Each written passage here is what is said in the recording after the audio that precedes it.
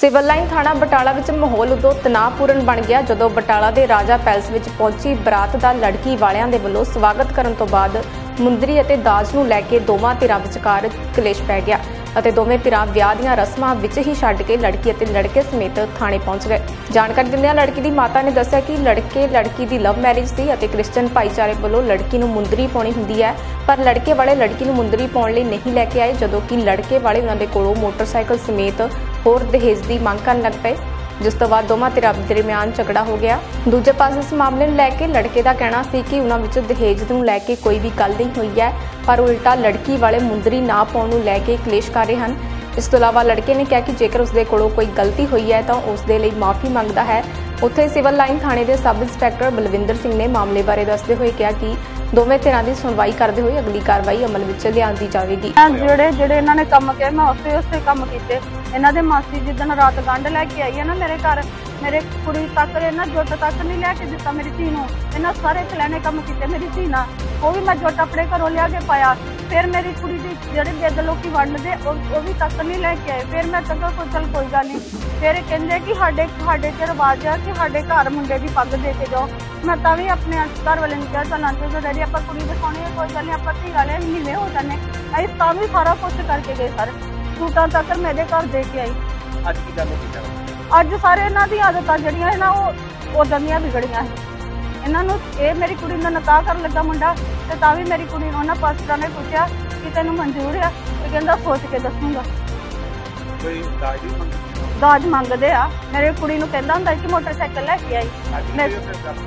ਪਹਿਲਾਂ ਵੀ ਸਾਰੇ ਮੰਗਦਾ ਹੁੰਦਾ ਸੀ। ਕਹਿੰਦਾ ਹੁੰਦਾ ਕਿ ਮੇਰੇ ਜਿੰਨੇ ਤੱਕ ਮੋਟਰਸਾਈਕਲ ਨਾ ਲਿਆ ਕੇ ਦੇਂਗੀ ਨਾ ਉਹਨੇ ਤੱਕ ਮੈਂ ਤੈਨੂੰ ਲੈ ਕੇ ਨਹੀਂ ਤੇਰੇ ਪੇਕੇ ਜਾਣਾ। ਇਹ ਮੈਨੂੰ ਧਮਕੀਆਂ ਦਿੰਦਾ ਹੁੰਦਾ ਕਿ ਦੋ ਚਾਰ ਦਿਨ ਤੇਰੇ ਘਰ ਕੁੜੀ ਮੇਰੇ ਕੋਲ ਰਿਹਾ ਕਰੂ ਦੋ ਚਾਰ ਦਿਨ ਤੇਰੇ ਘਰ ਰਿਹਾ ਕਰੂਗੀ। ਮੈਂ ਮੈਂ ਆਪਣੀ ਬੇਟੀ ਦਾ ਨਾ ਸਾਥ ਕਰਨੀ ਅੱਜ ਗੱਲ ਹੋਈ ਜਦੋਂ ਇਹ ਆਏ ਸਵੇਰੇ। ਆਏ 4 ਵਜੇ ਆਏ। ਅਸੀਂ ਇਹਨਾਂ ਨੂੰ ਕਾਫੀ ਟਾਈਮ ਤੋਂ ਦੇਖਦੇ ਰਹੇ। ਇਹਨਾਂ ਨੂੰ 12 ਵਜੇ ਦਾ ਟਾਈਮ ਦਿੱਤਾ। ਇਹ 4 ਵਜੇ ਆਏ। ਤੇ ਫਿਰ ਆਏ ਤੇ ਬਾਅਦ ਵਿੱਚ ਇਹਨਾਂ ਨੇ ਨਿਕਾਹ ਕਰਨ ਲੱਗ ਪਏ ਇਹਨਾਂ ਨੂੰ ਪਾਸੇ ਜੀ ਉਹਨਾਂ ਨੇ ਪੁੱਛਿਆ ਕਿ ਤੁਸੀਂ ਦੁੱਖ ਸੁੱਖ ਵੇਲੇ ਸਾਥ ਹੋਗੇ? ਤੇ ਇਹਨੇ ਕਹਿਤਾ, ਪੱਕਾ ਨਹੀਂ ਕਹਿ ਸਕਦਾ, ਸਾਥ ਮਤਲਬ ਨਹੀਂ। ਤੇ ਫਿਰ ਬਾਅਦ ਵਿੱਚ ਇਹਨੂੰ ਪੁੱਛਿਆ ਕਿ ਤੇਰੀ ਮਰਜ਼ੀ ਨਾਲ ਵਿਆਹ ਉਹਨੇ ਕਾਫੀ ਟਾਈਮ ਸੋਚ ਕੇ ਇਹਨੇ ਬੋਲਿਆ, ਹਾਂਜੀ, ਮੇਰੀ ਮਰਜ਼ੀ ਨਾਲ ਹੋਣਾ। ਇਦਾਂ ਇਹਨੇ ਬੋਲਿਆ। ਤੇ ਬਾਅਦ ਵਿੱਚ ਅਸੀਂ ਚੱਲ ਗਏ ਤੇ ਇਹਨਾਂ ਨੂੰ ਕਾਫੀ ਟਾਈਮ ਦੇਖਦੇ ਰਹੇ। ਇਹਨਾਂ ਨੇ ਛਾਪ ਲੈਣ ਵੀ ਕਿਹਾ ਤੇ ਇਹਨਾਂ ਨੇ ਛਾਪ ਵੀ ਨਹੀਂ ਬਣਾਈ।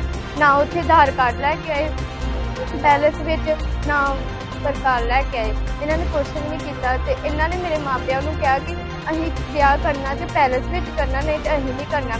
ਇਹ ਮੇਰੇ ਕਹਿੰਦੇ ਰਿਸ਼ਤੇਦਾਰਾਂ ਨੇ ਲਹਿੰਗੇ ਪਾ ਕੇ ਆਣਾ ਵਾ ਤੇ ਅਸੀਂ ਤੁਹਾਡੀ ਗਲੀਆਂ ਵਿੱਚ ਪੂਰਾ ਹੁੰਜਣਾ ਵਾ। ਮੇਰਾ ਇਹਦੀ ਮੰਮੀ ਨੇ ਇਹ ਗੱਲ ਕਹੀ ਸੀ ਤੇ ਬਾਅਦ ਵਿੱਚ ਮੇਰੇ ਮਾਂ, ਮੇਰੇ ਡੈਡੀ ਦਾ ਹਰੀਦਾਰ ਆ ਤੇ ਉਹ ਉਹਨਾਂ ਨੇ ਕਰਜ਼ਾ ਚੁੱਕ ਕੇ ਸਾਰਾ ਇਹਨਾਂ ਦਾ ਸਭ ਕੁਝ ਕੀਤਾ ਤੇ ਫਿਰ ਵੀ ਇਹਨਾਂ ਦੇ ਜੰਮੂ ਵਾਲੇ ਰਿਸ਼ਤੇਦਾਰ ਇਹਨਾਂ ਨੇ ਸਭ ਕੁਝ ਕਿਹਾ ਵਾ ਮਾਸੀ ਇਹਦੇ ਘਰ ਜਾ ਕੇ ਸਾਡੇ ਨਾਲ ਬੜਾ ਬੋਲ ਕੇ ਆਈ ਸੀ ਗਲਤ ਬੋਲਿਆ ਉਹਨੇ।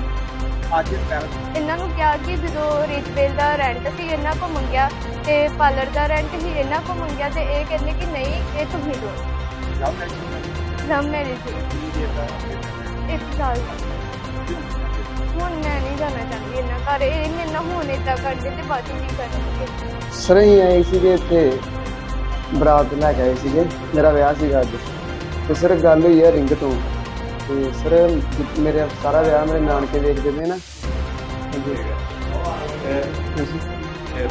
ਸਾਰਾ ਵਿਆਹ ਮੇਰੇ ਨਾਨਕੇ ਦੇਖਦੇ ਪਏ ਉਹਨਾਂ ਨੇ ਬੋਲਿਆ ਕਿ ਸਾਡੇ ਵਿੱਚ ਰਿੰਗ ਨਹੀਂ ਪਾਉਂਦੇ। ਤੇ ਇਹਨਾਂ ਨੇ ਬੋਲਿਆ ਕਿ ਰਿੰਗ ਲੈ ਕੇ ਆਓ ਕਿਉਂਕਿ ਆਲਰੇਡੀ ਇਹਨਾਂ ਨੇ ਮੇਰੇ ਨਾਨਕਿਆਂ ਨਾਲ ਗੱਲ ਨਹੀਂ ਕੀਤੀ।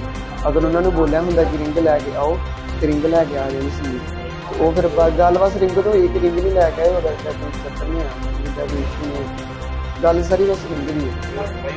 ਹੱਥੋਂ ਬਾਈ ਸਰ ਮੇਰੇ ਹੱਥ ਪਾਈ ਮੈਂ ਸਿਆਣੇ ਹੀ ਮੈਂ ਕੁਛ ਨਹੀਂ ਕਿਹਾ ਕਿਉਂਕਿ ਉਹਨਾਂ ਡਰਿੰਕ ਕੀਤੀ ਸੀ। ਸਰ ਉਹਨਾਂ ਡਰਿੰਕ ਕੀਤੀ ਸੀ ਕਿ ਇੱਕ ਨੇ ਧੱਕਾ ਮਾਰਿਆ, ਇੱਕ ਮੇਰੇ ਕੋਲ ਮਾਰਿਆ ਤਾਂ ਮੈਂ ਹੱਥ ਤੋਂ ਬਾਅਦ ਮੈਂ ਨਹੀਂ ਜਾਣੀ ਕਿਉਂਕਿ ਮੇਰੀ ਮੰਮੀ ਨਾਲ ਸੀਗੀ ਮੇਰੀ ਭੈਣ ਸੀਗੀ ਉਹਨਾਂ ਦੇ ਹੱਥ ਪਾ ਰਹੇ ਸੀ ਉਹਨਾਂ ਨਾਲ ਲੰਮ ਪੈਣ ਦੀ ਸੀ ਮੈਂ ਉਹਨਾਂ ਨੂੰ ਕਵਰ ਕੀਤਾ ਸੀ। ਤੇ ਦਾ ਨਹੀਂ ਜੀ ਉਹ ਐਕਸ਼ਨ ਪਤਾ ਕੀ ਗੱਲ ਹੋਈ?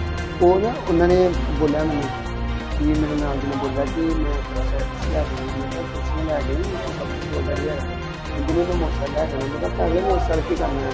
ਮੋਟਰਸਾਈਕਲ ਮੈਂ ਨਹੀਂ ਬੋਲਿਆ ਐਕਚੁਅਲੀ ਮੈਂ ਨਹੀਂ ਬੋਲਿਆ ਮੇਰੇ ਰਿਸ਼ਤੇਦਾਰ ਜਿਹੜੇ ਆਏ ਨਾ ਉਹਨਾਂ ਕੋ ਗਲਤੀ ਨਾਲ ਬੋਲਿਆ ਗਿਆ ਕਿਉਂਕਿ ਉਹ ਮੇਰੇ ਮੇਰੇ ਮੰਮੀ ਨੂੰ ਮਾਰਾ ਕਹਿੰਦੇ ਸੀ ਨਾ।